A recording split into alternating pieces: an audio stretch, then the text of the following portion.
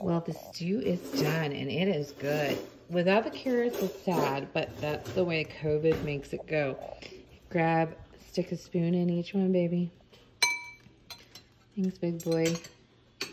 And then that one looks the beefiest. I would grab that one. You can always grab more. And then there's buns over there with butter. It's peanut butter stewy time. Eat it before, don't put salt on it before you eat it. I think I did a good job this time. Is it good? More salt. Cool.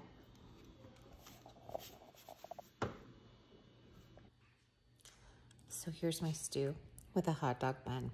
Super coronavirus COVID hood life stew.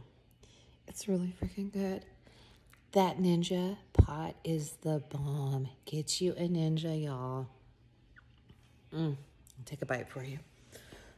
I could do more eating videos, but I don't know if people want to eat with me because I'll eat dinner with you.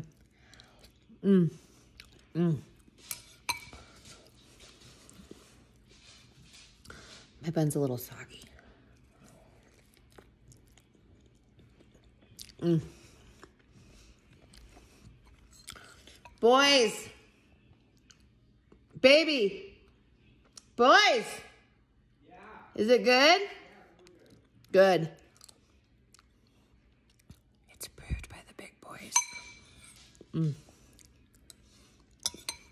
Potatoes, beef, water, stew mix. Four ingredients. Get you some hot dog buns. Twist them up.